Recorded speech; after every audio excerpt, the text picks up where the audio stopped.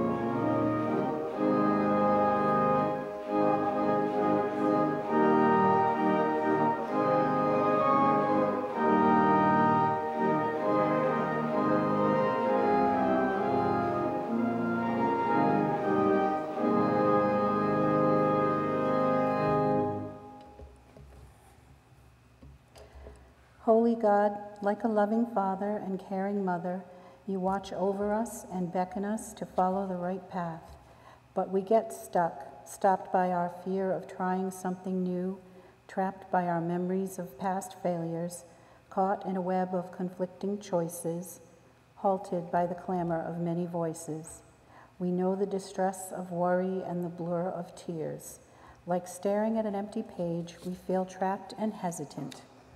Free us, O God, to follow with joyful steps, to hear clearly your directions, to be bold in our loving, courageous in our caring, and brave in our speaking. Through our Lord Jesus, who taught us to pray, saying, Our Father, who art in heaven, hallowed be thy name. Thy kingdom come, thy will be done, on earth as it is in heaven. Give us this day our daily bread, and forgive us our debts as we forgive our debtors. And lead us not into temptation, but deliver us from evil. For thine is the kingdom, and the power, and the glory forever. Amen.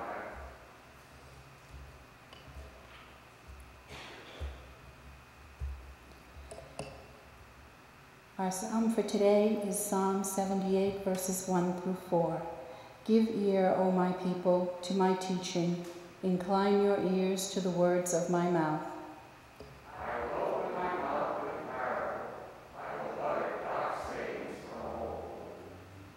Things that we have heard and known that our ancestors have told us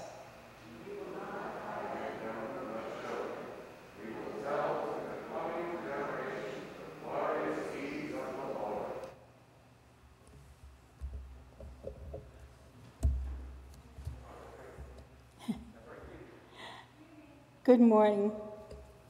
I'd like to take a moment for you all to greet each other now. I know a lot of you were doing that earlier, but just stand and whatever you're comfortable with, give somebody a wave and a smile.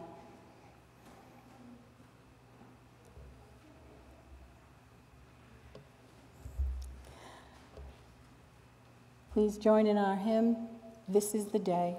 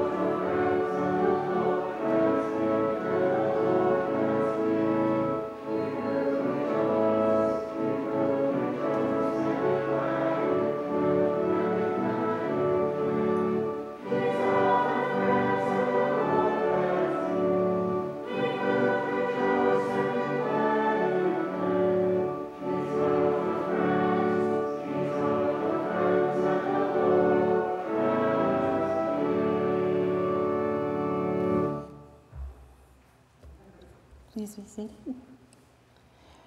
Uh, we have a few announcements. Uh, first, there will be a special business meeting of the Benevolent Baptist Society immediately following the worship service next Saturday. We are. we don't go to church on Saturday. My apologies. There will be a Baptist Benevolent Society meeting on Sunday immediately following the worship service. I can't blame that on Kevin. uh, we are reminded by our insurance company that we do have safety precautions due to COVID 19 and that all attendees should observe social distancing guidelines and wear proper masking or face shields. Uh, to keep with our social distancing practices, offering is collected uh, as you arrive for church and or as you depart at your convenience. Um, the property committee's been busy at work. New doors have been installed on the Jura building with new locks. Our September mission is staying here at home. Our mission is our own church. And a reminder, the Lion's Den thrift shop is still closed. Does anyone else have any announcements they'd like made?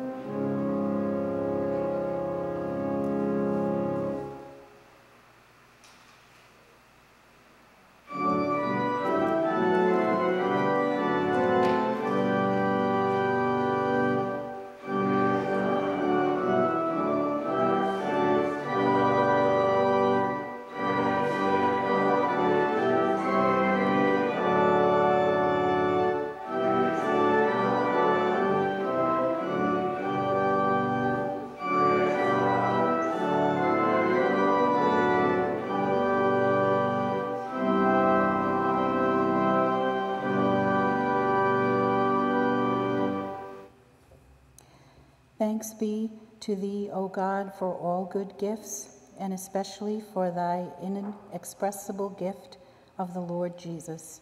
Help us, O Lord, to see wherein we have been blessed and to be a blessing to others. Amen.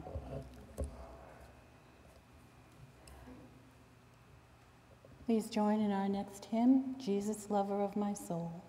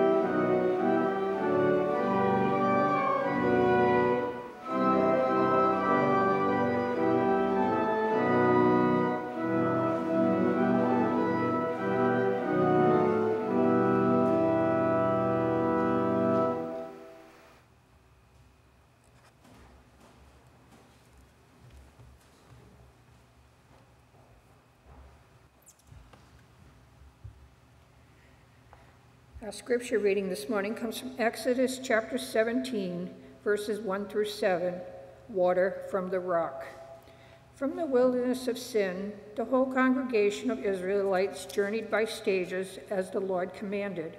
They camped at Rephidim, and but there was no water for the people to drink. The people quarreled with Moses and said, Give us water to drink.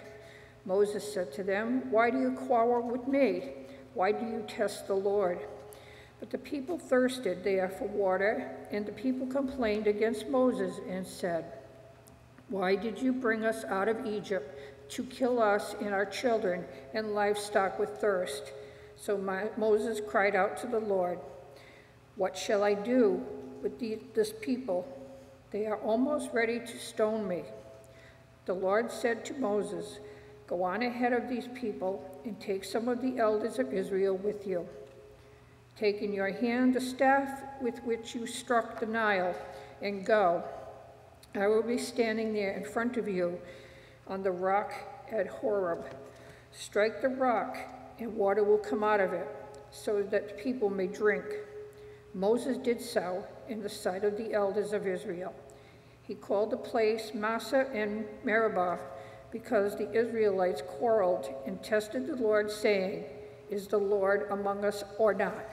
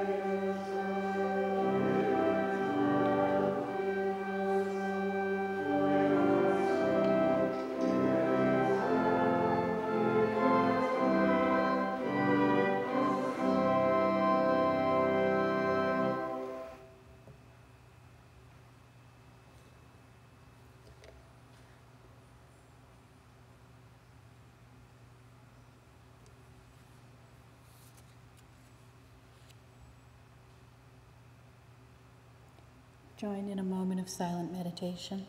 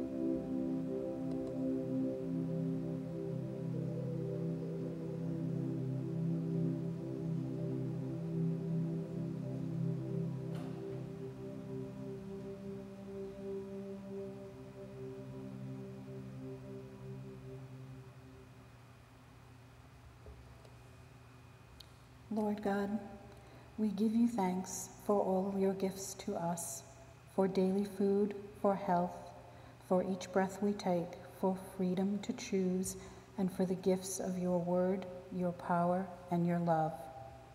Our hearts are truly overwhelmed, O God, when we consider how you have entrusted so much to us. May we be worthy of that trust. May we be people who are unafraid to live as fully and as richly as you want us to live. Help us, O God, as followers of Jesus, to multiply all that you have given us, to risk spreading your word and perhaps see it misunderstood, to gamble by loving those whom others think worthy only of hate, to take chances by doing good to those who have not done good to us. Help us be faith filled and desire to increase your glory and your goodness in the world. Make us a people who share in both word and deed that which you have given us. We pray for the church gathered today, both here and around the world, that it may encourage all of its members to discover, develop, and use all their gifts, those of nature and those of grace. We pray for those who are poor in body or in spirit, for those oppressed and heavy laden, for those sick or in despair. Minister by your Spirit and by us to all those for whom we have prayed, and to help us walk faithfully in the path of our Lord Jesus Christ. Amen.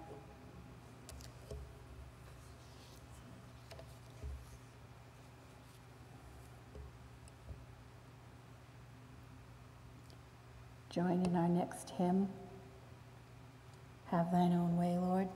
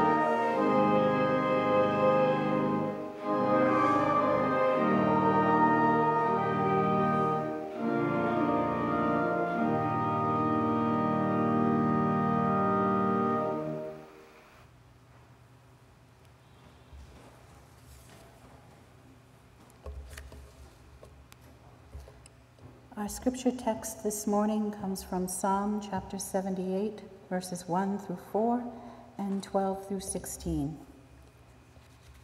God's goodness and Israel's ingratitude. Give ear, O my people, to my teaching. Incline your ears to the words of my mouth. I will open my mouth in a parable.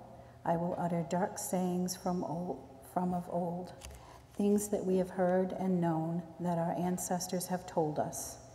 We will not hide them from their children. We will tell them to the coming generation and glorious deeds, the glorious deeds of the Lord, and his might and the wonders that he has done. In the sight of their ancestors, he worked marvels in the land of Egypt. He divided the sea and let them pass through it, and made the waters stand like a heap. In the daytime, he led them with a cloud, and all night long with a fiery light. He split rocks open in the wilderness and gave them drink abundantly as from the deep. He made streams come out of the rock and caused the, water to, the waters to flow down like rivers. This morning's sermon topic is called Time Out. And I thought it was interesting when Kevin sent it to me, and then I read through the sermon and found it ironic. Um, this sermon ties in parenting in the Bible. And you, most of you have known me since I was a child coming to church here and growing up. I don't have children. It's not a subject that I am well versed in. It's not even a subject I have a clue about. So, but uh, the sermon had some really interesting points. And over the years, my sisters have been kind enough and some of my friends to loan me their kids. So while I have an idea about parenting, um, I'm more biblical in this topic than actual hands on experience. Phyllis Diller once remarked that most children threaten at times to run away from home. This is probably the only thing that parents that keeps a parent going is that kids might run away. I'm not a parent again, um, but I understand that parenting is not for the faint of heart pretty quickly that newborn bundle of joy that we all oohed and awed over in the nursery is going to grow up and have an attitude. They're going to become a handful and an aggravation. And I don't know, maybe my sisters envied me a few times over the years thinking, wow, she doesn't have any kids. But parents, Google a lot of information now. You can go to Barnes & Noble, you can buy books on parenting. There's whole shelves of them. Or you can do what President Harry S. Truman said. He said the key to giving advice to your children is find out what they want and then tell them they want it. I guess that kind of works. Discipline is ch- of children and keeping them on the straight and narrow is not a new thing.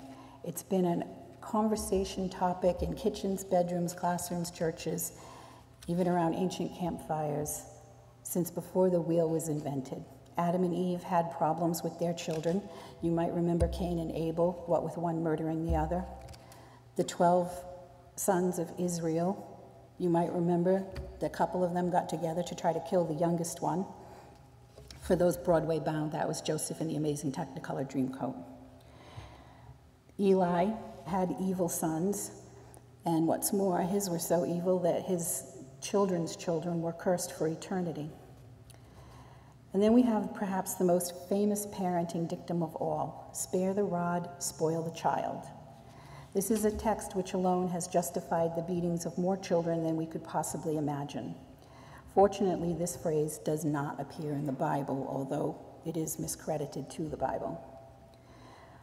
It comes from the pen of Samuel Butler, Samuel Butler in a poem in the 17th century. Many parents believe the expression comes from the Bible because the sentiment expressed in Proverbs 13, verse 24 whoever spares the rod hates their children, but the one who loves the child is careful to discipline them. What's unfortunate is many parents believe that the rod of Proverbs 13, verse 24, is a heavy stick or a branch. It is not. The rod in this image is set squarely in an agrarian culture point of reference of that day. Shepherds always had a rod. If you remember your bib- biblical pictures, it was pretty lightweight stick with a curve on the end. The curved end was supposed to de- was designed to wrap around the neck of an errant sheep as he was moving away from the herd. This was a gentle way to bring him back in line. Because sheep are always wandering off, I guess. I don't know any more about sheep, sure, sheep herding than I do children, by the way. The rest of the rod was used primarily as a guide to keep sheep on a path with a mere tap or a touch. Rarely would a shepherd beat a sheep. But parents, in the history of child discipline, have used sticks, branches, rulers, baseball bats, belts, and straps to beat children into submission.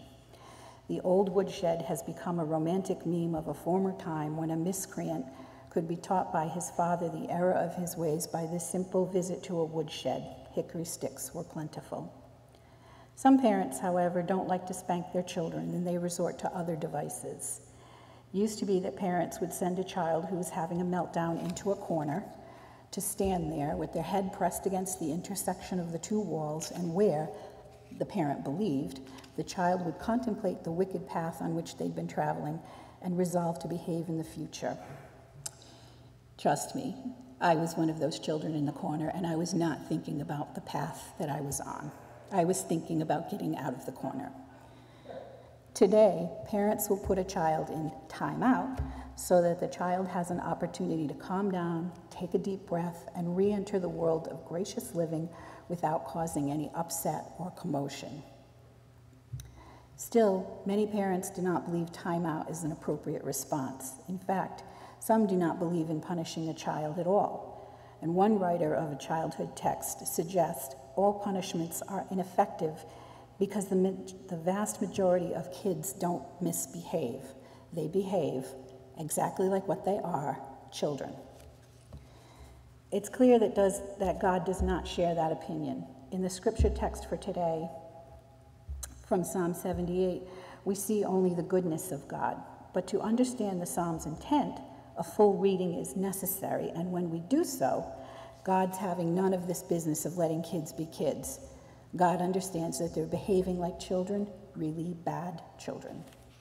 This psalm, the second longest in the book, is a brief history of the relationship between the divine parent and his incorrigible children. The psalmist makes three major points. One, the first assertion God treated the Israelites with love and kindness giving them incredible blessings. As for the first assertion, the psalm says, In the sight of their ancestors, he worked marvels in the land of Egypt. He divided the sea and let them pass through it. He made the waters stand like a heap.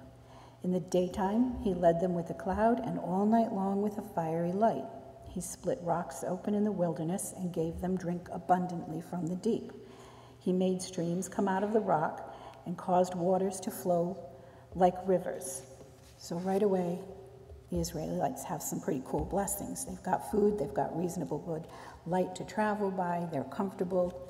He commanded the skies above and opened the doors of heaven. He rained down on them manna to eat and gave them grain of heaven. Mortals ate the bread of angels, and he sent them food in abundance. He caused the east wind to blow in the heavens and by his power he led out the, he let out the south wind. He rained flesh upon them like dust winged birds like sand of the earth of the seas. He let them fall within their camp all around their dwellings. They ate and were filled for he gave them what they craved god makes a case that the israelites had forgotten their patron deity the god of their ancestors and that as the God of Abraham, Isaac, and Jacob, he had been rather diligent and devoted. No one could seriously argue with this. No one could say that he had neglected them or rejected them. He had been their God and, he, and they had been his people. It's a good thing to be reminded of the goodness of God. If God were to lay out before us a list of our blessings, providential actions, compassion, and kindness with which he has treated us, what would be on that list? If we're sitting in silence right now, struggling to enumerate the blessings we have come that have come to us in our life as children of God, then there's something wrong. The Psalm's second assertion is that the Israeli, Israelites not only took the blessings for granted, but their wicked behavior insulted the God who had provided them.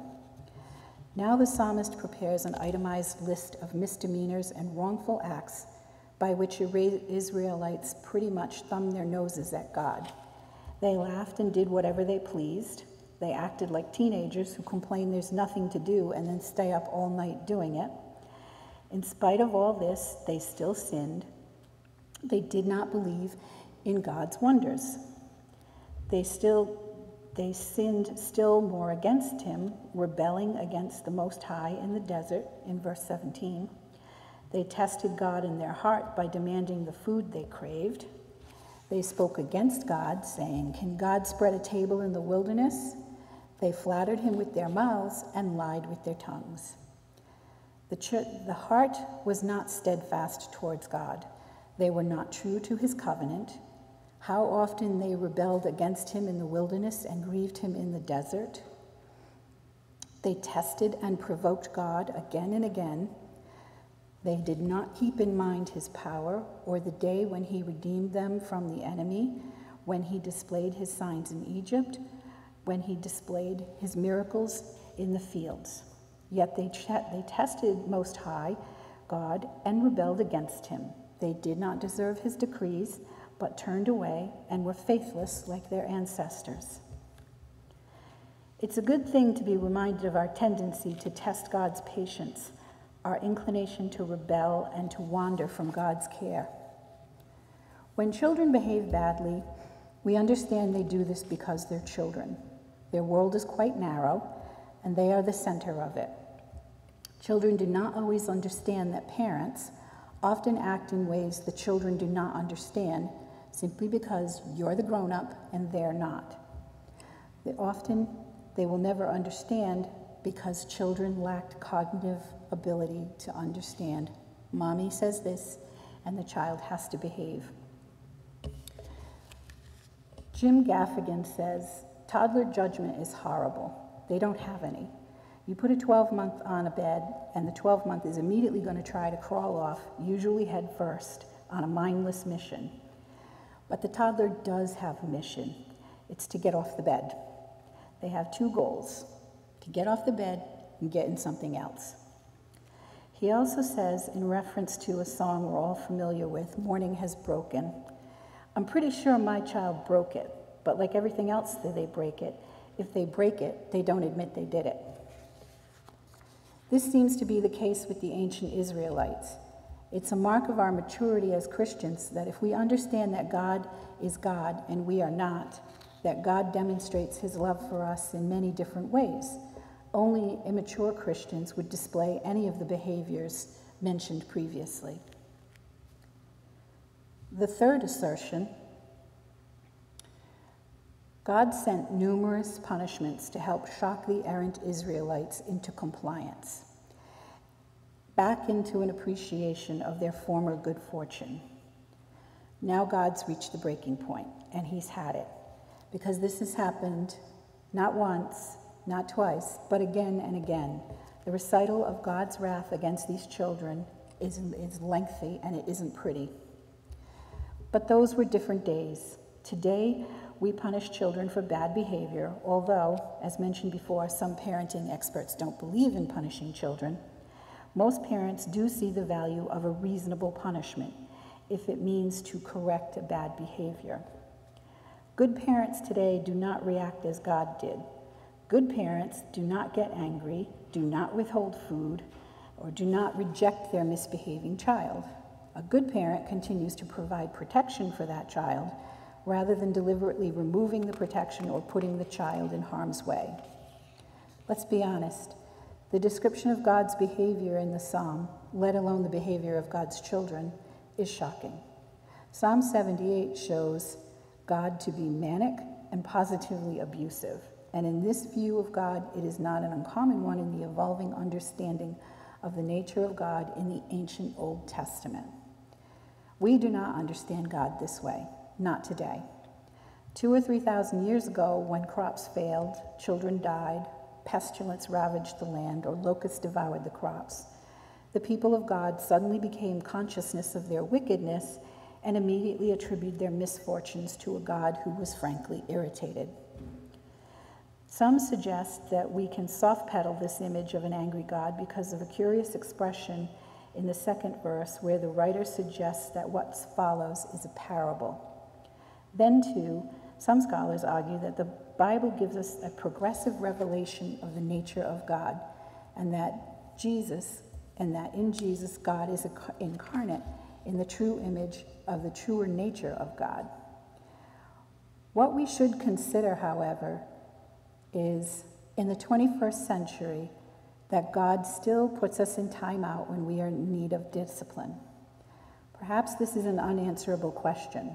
If we answer yes, then we also have to conclude that God rewards us for our acts of righteousness.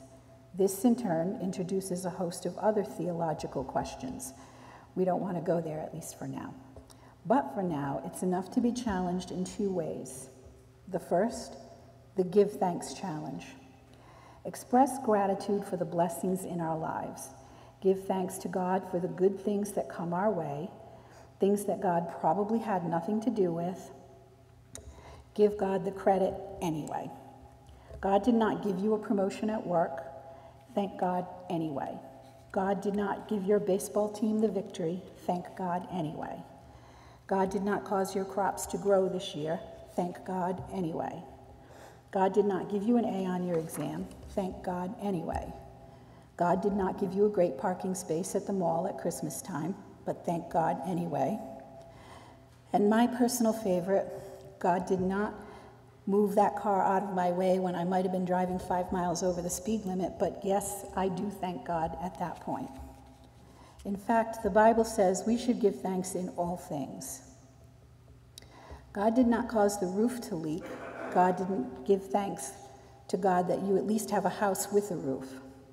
God did not give your husband cancer. God gives thanks anyway. Give God thanks anyway, and be grateful for the skillful care of the oncologist. God did not cancel the baseball season or whatever sport you're involved in. Give thanks to God for the other myriad entertainment opportunities you have. God did not cause so and so to say something bad about you, but be grateful for the friends that you have. You seeing where we're going? We're giving God thanks for our friends. The second is the Live Right Challenge. This psalm challenges us to live in such a way that a timeout is not even on the table for discussion. In fact, rather than being timeout Christians, the Bible calls us to be time in Christians. We're called to spend time time in serving others, time in study and prayer, time in offering our skills and talents, time in witnessing to the love of Christ, time in obedience to the world of God, time in fellowship with other believers, time in bearing the burdens of others. When we're living as time in Christians, we don't need to worry about a time out. Let's not give God a headache. Let's embrace the Give Thanks Challenge and the Live Right Challenge this would be pleasing to God. Amen.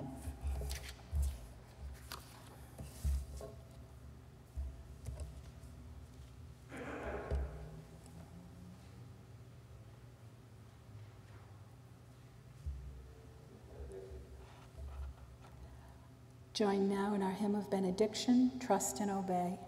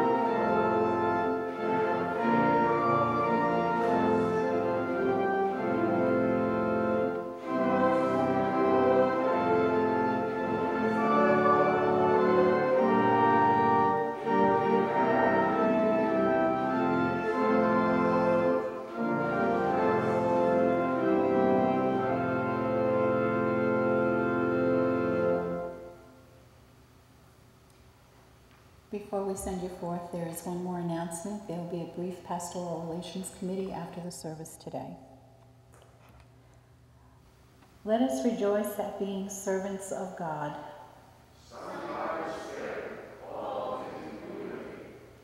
Led by faith, inspired for service, and in all things consumed by joy.